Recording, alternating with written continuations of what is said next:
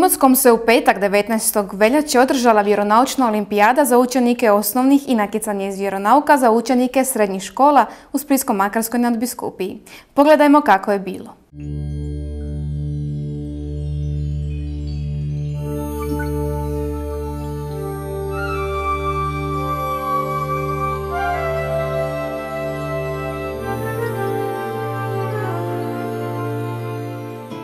Grad Imotski smjestio se u srcu Imotske krajine iza planine Biokovo u Dalmatinskom zaleđu na granici Hercegovine i Dalmacije.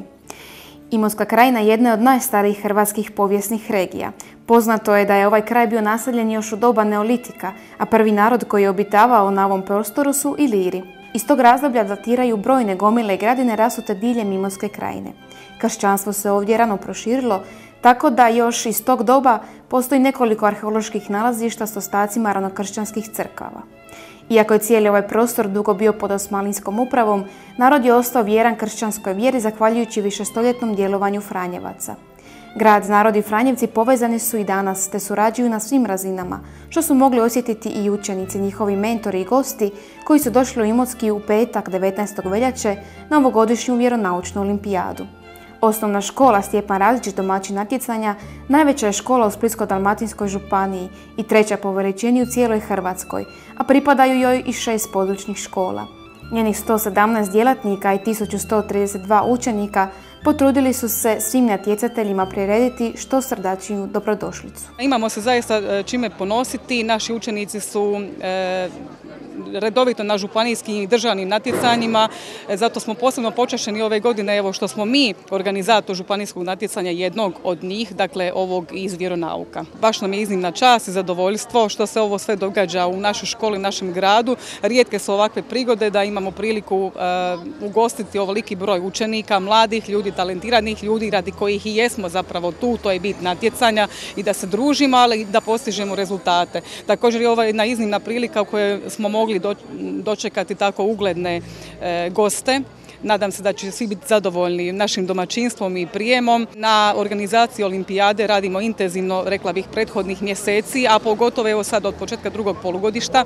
Za olimpijadu je prije svega zaslužna naša časna sestra Filipa, sestra Ivka Smoljo, e, koja je, ja mislim, svojim e, uspjehom na dosadašnjim vjeronaučnim olimpijadama e, dovela ovo natjecanje u našu školu i organizirala puno toga. Sve nas je zapravo prethodnih tjedana angažirala, svi učitelji su rado sudjelovali, uključili su se učenici. Mislim da smo spremili jedan e, fantastičan program. Grad Imotski zapravo, svi mi koji participiramo u vlasti i u organizaciji u gradu Imotskom smo iznimno ponosni zato što je e, nadbiskupska vjeronaučna olimpijada ove godine u Imotskome. Naravno, prvenstveno nam je drago zbog nas sami, zbog grada, zbog e, promocije, promičbe samoga grada, jer mislim da, nažalost, u kurikulima školskima možda premalo ima upoznavanja najbližih dijelova naših krajeva, pa tako je dobro da iz same županije, zapravo nadbiskupije Splitsko-Makarske, da, djeca dođu, prvenstveno kažem da vide to. Djeca koja djeca iznimna, kvalitetna, dobroga znanja, truda, mislim da će i u budućnosti pronositi ovo što će sada, što su već absolvirali i što će pokazati svojim znanjem na ovoj olimpijadi, da će to prenositi i budućim pokoljenima, dakle u budućnosti da nećemo imati nekakvih nedoumica što je brak i što je obitelj. U oči samog natjecanja u gradskoj kinodvorani domaćini su priredili prigodni kulturno-umjetnički program. Natjecatelji su tako uz prigodnu molitvu koju je izrekla Josipa Kukavica mogli čuti nekoliko pjesama u izvedi školskog zbora pod ravnanjem profesorice Sande Merić, a učenici drugih razreda predstavili su se plesom kojeg su pripremile učiteljice Katija Nikolić i Milena Ivkošić. Profesorica Sanja Bagu priredila je monolog Divne mojine kojeg je izveo Ante Borna Kujundžić, te recitaciju Plać Anđela u izvedi Magdalene Marte Bago i Mateje Jukić. Okupljene je zabavila i scenska igra ploča koje je s učenicima drugog D razreda uvježbala profesorica Jona Glibota. Dobrodošlicu u Imotski svim gostima prva je uputila ravnateljica osnovne škole Stjepan Radić, profesorica Monika Pavlović-Grabovac. U ime grada Imotskog riječi dobrodošlice uputio je gospodin Grgo Nikolić, pročelnik za kulturu koji je svima zaželio da uživaju u ljepotama i posebnostima grada Imotskog. Okupljene je pozdravio i fra Kristijan Stipanović, gvardijan župnik i dekan u Imotskom, koji je čestitao sudionicima na stečenom zdanju, te ih pozvao da svoje talente iskoriste za svoje dobro i za dobro cijelog naroda. Suradnje mogu reći baš na jednoj visokoj, odnosno uzornoj razini. Ja bih volio da tako bude svugdje. Stvarno, uvijek su ljudi otvoreni sa svih strana i jedni drugima rado priskačemo u pomoć, surađujemo, pogotovo na ovako važnim projektima kao što je Vjeronaučna olimpijada. Uz Katehetski ured Splitsko-Makarske nadbiskupije, organizator olimpijade je i Agencija za odgoj i obrazovanje – Stoga je pozdravnu riječ održao predstavnik Splitske podružnice agencije, profesor Vlade Matas. Ovo je jedna prigoda u kojoj treba u prvom redu zahvaliti svim mentorima, učenicima, domaćinu znači, koji ovo sve skupo organizira. Veliki je niz natjecanja, niti bi županija, niti agencija na državnom natjecanju jednostavno mogli doći do, takve razine i kvalitete i dobre organizacije da nisu dobri partneri, suradnici, ravnatelji i odgojno obrazovni radnici u tim ustanovama koji pripreme ono sve što je nužno i potrebno ovaj, za ovaj tehnički dio, naravno i roditelji učenika i njihove obitelji koji na jedan pravi način skrbe o njihovom i odgoju koji ih je doveo do ove razine natjecanja su zaslužni da to svake godine iz godine bude bolje, uspješnije, shodnije i mislim da svi imaju jednu veliku korist od toga. Posebno mi je drago da djeca kroz ove vid natjecanja ne streme samo dobrim rezultatima, nego već jednostavno da se upoznaju, da upoznaju i neke krajeve lijepe naše, da povratkom u svoj grad, u svoju obitelj budu bolji, napunjeni energijom i sposobni biti sretni ljudi u ovom životu. Kako je olimpijada ujedno i županijsko natjecanje iz za osnovnu i srednju školu, okupljenima se obratio i pročelnik Upravnog odjela za društvene znanosti Splitsko-Dalmatinske županije, gospodin Tomislav Đonlić. Jako mi je drago da vidim da je ovoliki odaziv i interes djece za vjeronaučne sadržaje. Danas je jako često ističe kako su nam važne sve tehničke nauke kao preduvjet za tehnološki razvoj društva, međutim bez one osnove, bez temelja nema ni od tehnološkog razvoja društva ništa da bi se taj tehnološki razvoj mogao u potpunosti ostvariti na onaj način na koji treba. E, važni su i ovi drugi sadržaji koji se u školama poučavaju i u tom smislu svakako je velika uloga i vjeronauka, ali i drugih predmeta sa elementima nacionalne kulture kao što su hrvatski jezik, povijest i drugi, drugi sadržaji koji nas poučavaju o važnosti i baštine i nacionalnom identitetu, kulturi i svemu onome što nas zapravo čini kao narodom i, Hrvatima. Iako rado svake godine svoju potporu i dobre želje učenicima osobno uputi Splitsko-Makarski nadbiskup Monsignor Marin Barišić, ove godine je bio spriječen.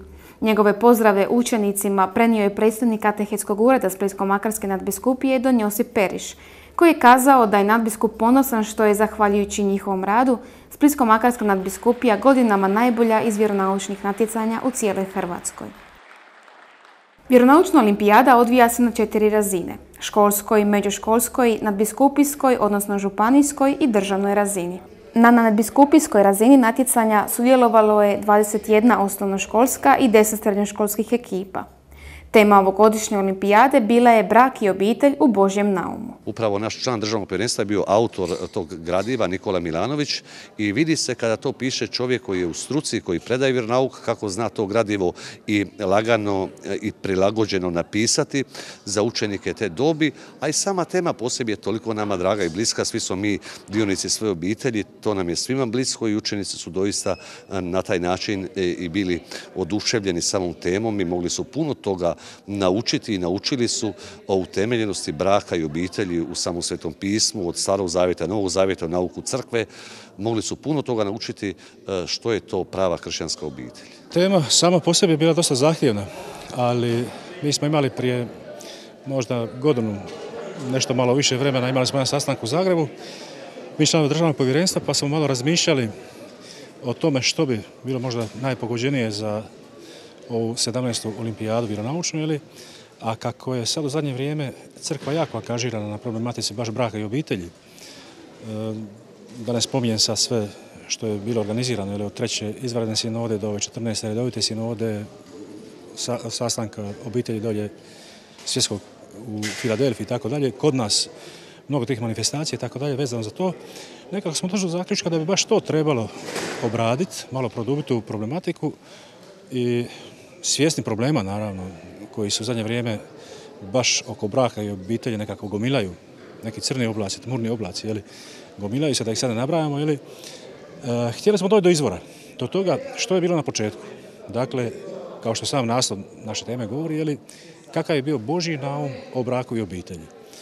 I u tom smislu smo napravili materijali i tako dalje, jeli, nadamo se da su bili korisni, nadamo se da su djeca nešto naučila, djeca nisu to više djeca nego mladići i djevojke, jeli, da će ponijeti nešto za budućnost, jer e, ako ne sačuvamo to, brak i obitelj, to je temelj pojedinca i društva i civilizacije i svega drugoga, jer jednostavno, eto, nekako su se tim stvarima vodili kad smo o tome razmišljali. Ohrabreni lijepim riječima i željama, učenici su pojedinačno pristupali prvom krugu natjecanja, pisanom ispitu.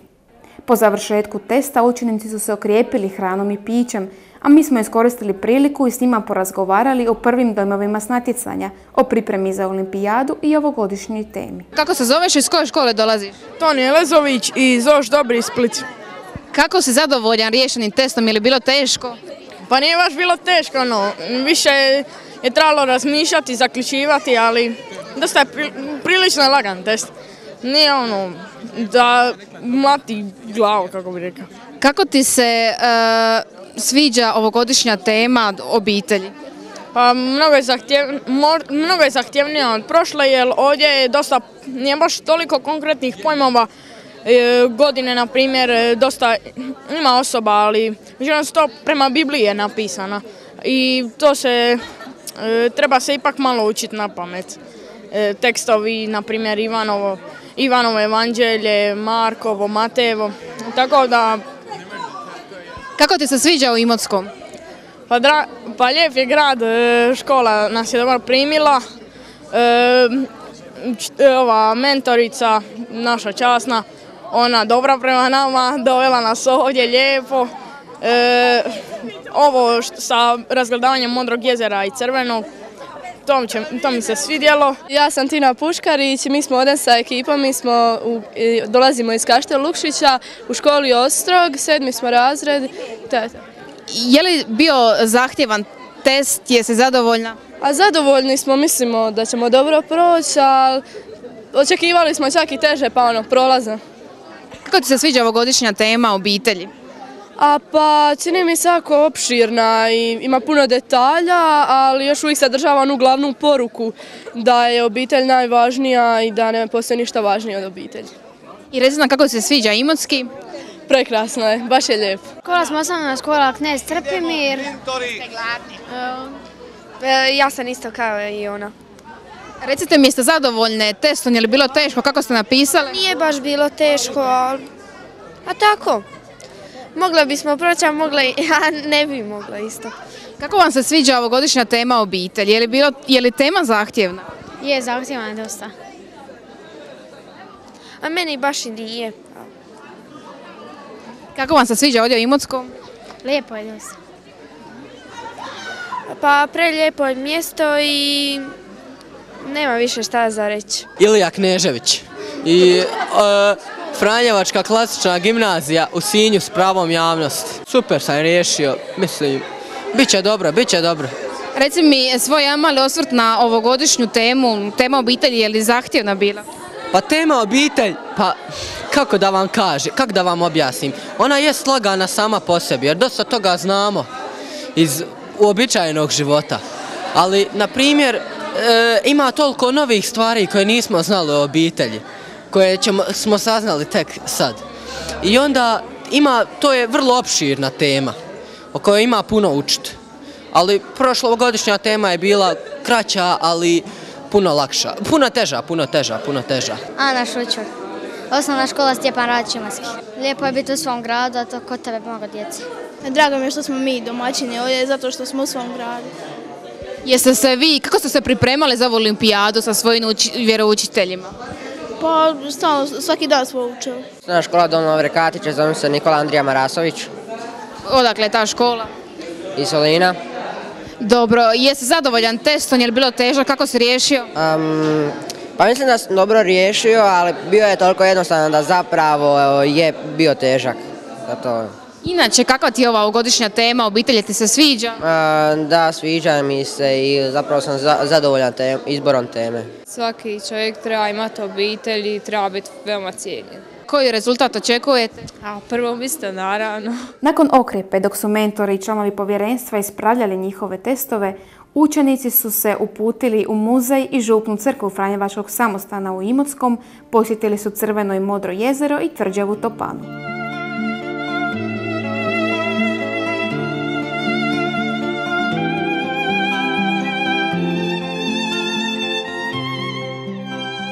Današnja župna crkva u neoromaničkom stilu gradila se od domaćeg imotskog kamena. Pročelje ima tri portala, a unutrašnjo skrasi pet oltara. Glavni oltar od bijelog kamena dijelo je talijanskog kipara Artura Ferraronija, a vitraje je izradio Josip Boteri Dini. Pred crkvom se nalazi spomenik graditelju samostana Fra Stjepanu Vrliću, rad kipara Josipa Poljana. Samostan Svetog Franje izgrađen je 1738. godine i u njemu se nalazi muzej i bogata biblioteka. Pa imali su priliku dakle, obaći našu crkvu, Franjevačku, koja je započeta je gradnja 1863. godine, dovršena je posvećena 1904. U njoj dakle razgledati oltare, postaje križnog puta i ostale znamenitosti crkve, a nakon toga smo ih proveli u kriptu crkve gdje se nalazi samostanska zbirka koja je osnovana 1962. godine, osnovo je pokojni Fravijeko Vrčić i tu prikupljao starine desetljećima, možemo tako slobodno reći. Uglavnom tu se nalaze e, predmeti iz starog razdoblja, dakle sve su predmeti iz Imotske krajine, dakle iz starog ilijskog rimskog razdoblja, zatim predmeti iz gradskog života, seoskog života, oružje, slike, crkveni predmeti, novčana zbirka. Evo, vjerujem da su mogli vidjeti mnogo toga i naravno uživati i naučiti nešto o Imotskoj krajini u ovome samostanu. Iako Imotska krajina obiluje jezerima, među kojima su najbrojnija suha jezera, Imotski je nadaleko poznat po dva bisera prirode, Crvenom i Modrom jezeru. Crveno jezero duboko je od 250 do gotovo 300 metara, a zbog svoje ljepote i mističnosti predmet je mnogih priča i legendi, a nitko do sada nije uspio s u jezero ubaciti kamen. Modro jezero puno je pristupačnije i ljeti postaje kupalište. Dubina jezera se mijenja, a ljeti jezero čak i potpuno presuši, pa se na njegovom dnu igraju i nogometne utakmice. Oko 140 učenika posjetilo je tvrđavu Topanu koja je nastala u 10. stoljeću te je kroz povijest imala izuzetno strateško značenje. U okružju utvrde nalazi se i crkvica Gospe od Anđela, zaštitnice Imotske krajine, sagrađena 1719. godine, a podno zidi na ljeti se odvijaju nekoliko manifestacija.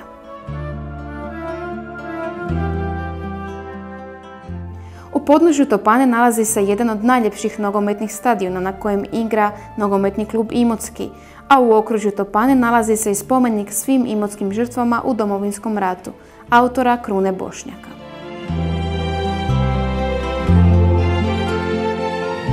Povratku s izleta, a prije nastavka natjecanja, po prvi put na vjeronaučnoj olimpijadi održan je i revijalni program kojeg su pripremili domaćini, a u sklopu kojeg je nastupio srednjoškolski zbor i bend koje je uvježbao Josip Domazec.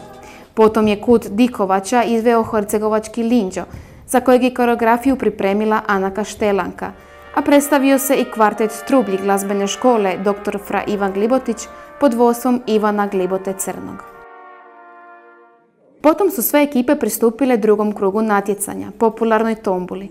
Bodove osvojene na tomboli pribrajali su se već osvojenim bodovima spisanog testa, te se tako dobilo po pet najboljih ekipa iz osnovne i srednje škole. Oni su pristupili završnom krugu natjecanja, kvizu Tko želi biti Isusov milijunak, u kojem su predstavnici svih pet ekipa istovremeno pisali odgovore na zadana pitanja.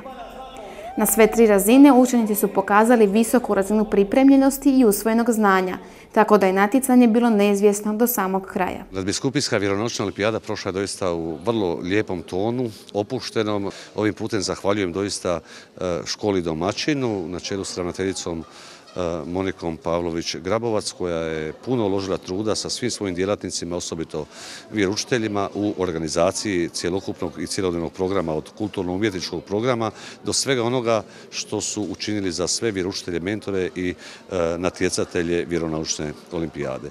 Ja doista mogu biti e, sretan što su učenici doista pokazali vrlo visoki stupanj pripremljenosti, pokazali su vrhunske rezultate i još se jedan put pokazalo da Splitsko-Makarska nadbiskupija u cijelini pokazuje iz godine u godinu najbolje rezultate iz vjeronaučne olimpijade i nadam se da će ne samo dvije ekipe po jedna iz osnovne srednje, nego još neka ekipa po kriteriju izvrsnosti sudjelovati na državnom natjecanju, ali to ćemo vidjeti za nekoliko dana. Među osnovnoškolskim ekipama prvo mjesto osvojila ekipa osnovne škole Sučidar iz Splita pod vodstvom mentora Don Ivana Ćotića s osvojenih 97,75 bodova od mogućih 100. Drugoplasirani su bili učenici osnovne škole Zmijavci, a treće mjesto osvojili su natjecatelji osnovne škole Tučepi. Pobjedili ste na vjeronaučnoj olimpijadi. Kako vam je bilo? Su pitanja bila teška? Je bilo teško? Nisu pa bila ništa posebno teška, a mislim da smo svi griješili na glupostima i ono što smo griješili, ali mislim da ja sam previše zadovoljna jer uvijek je može bolje, uvijek može i gore, a mislim ja sam zadovoljna, prvi smo, tako da nemam se na šta žaliti. Koliko ste se dugo pripremali, koliko ste učili? Pa dosta dugo smo se pripremali i učili smo stvarno dosta puno. Tako da ovo su stvarno rezultati izvanredni i mi smo svi presretni. Zahvaljujem mentorima i svima koji su uložili trud za, naše, nas pripreme, posebno župniku, Don Ivanu Čotiću. I kako je to biti pobjednik? Kako se ti osjećaš? Ja se osjećam odlično zato što smo, kao što ona već rekla i ona, puno smo se pripremali, ono, zaslužili smo, ali i Zmijavci i druge ekipe su stvarno isto postigli super rezultate i sve mi je skupa bilo odlično iskustvo. Ono, uvijek ću ovo pamati definitivno. I kako vam se sviđala tema ovogodišnja brak i obitelj? Je li bila važna ili bila zanimljiva? Pa je, je dosta e, važna i zanimljiva i mnogo smo toga naučili. Što ćemo iskoristiti u budućnosti. U kategoriji srednjih škola prvo mjesto osvojili su učenici treće gimnazije Split pod vodstvom mentorice Ane Gelo s osvojenim 91 bodom. Drugo mjesto osvojila je Splitska peta gimnazija Vladimir Nazor, a treće mjesto srednja škola Ivana Lucića iz Trogira. Kakav je to osjećaj biti pobjednik? Super je osjećaj, pogotovo zato što smo ugusto ono, bili sa drugim mjestom, tako da eto, puno smo se trudili i eto, isplatilo se. kako ste se pripremali, koliko dugo? Pa skoro svaku subotu smo nešto provodili vrijeme u školi učili, a dobro smo se pripremali i zaslužili smo pobjedu. Evo, što ti misliš o temi ovogodišnjoj, obitelj, brak u Božjem naumu, je li korisna, je li bila teška, je li bilo zanimljivo? E, pa teška sama po sebi nije i znam teme od prijašnjih godina jako nisam bila i moram priznati da je ovo jedna od najboljih tema za koje sam znala u proteklih par godina i baš me to nagnalo, dakle baš tema me nagnala da se prijavim za natjecanje. Sama po sebi nije teška, ima puno činjenica, ali ono, baš je vrhunska. Naša profesorica Ana Gela nas je stvarno puno poticala u ovome i drago mi je što nismo bili toliko ambiciozni. Uvijek je rekla što bude, bit će sve na Božju slavu i to nas je nekako potaklo da napravimo najbolje od sebe, ali da se ne opterećujemo. Što se tiče teme, tema je zbilja prekrasna, dugo spremam učenike i ovo je jedna od najdražih do sad tema i mislim da je baš nekako pravi trenutak i pogođena i ovim putem bi zahvalila povjerenstvu koje je to izabralo tu temu, kolegi Nikoli Milanović koji je to krasno pripremio i naravno mojim curama koje su to s guštom učile. E, ja sam tu bila onako jedan mali poticaj, ali smo ipak stavili školu na prvo mjesto, a ovo da nam bude evo jedna naša izvan nastavna aktivnost gdje su one rado sudjelovale, a to se valjda i vidi na njima. Je li teško biti vjeroučitelj u srednjoj školi danas? Pa ja imam 15 godina iskustva u strukovnoj školi, e, pet godina sam u gimnaziji, to je uistinu velika razlika, ali kad volite djecu, onda ih volite i u jednoj i drugoj školi, onda nije problem. Problemi su neki drugi. A što se tiče učenja, ovisi o ambicijama, naravno. To su djeca koja su ambiciozna, koji hoće, koji mogu i to se vidi na njima. Glavni organizator ovog nadbiskupijskog natjecanja je katehetski ured Splitsko-Makarske nadbiskupije, pa je na samom kraju predstojnik ureda Don Josip Perić zahvalio svim okupljenima i čestitao pobjednicima. Svim ekipama podijelio je priznanja o sudjelovanju na natjecanju, a prvih pet posebno je nagrađeno knjigama. Svi sudionici natjecanja, obogaćeni zajedništvom i novim prijateljstvima, radosno su se uputili svojim domovima, no najveći osmih zasigurno su imali naši predstavnici na državnom natjecanju, koji će se održati od 6. do 8. travnja u Opatiji. Želimo im puno sreće i što bolji rezultat. Mi smo pobjednici, vidimo se na državnom!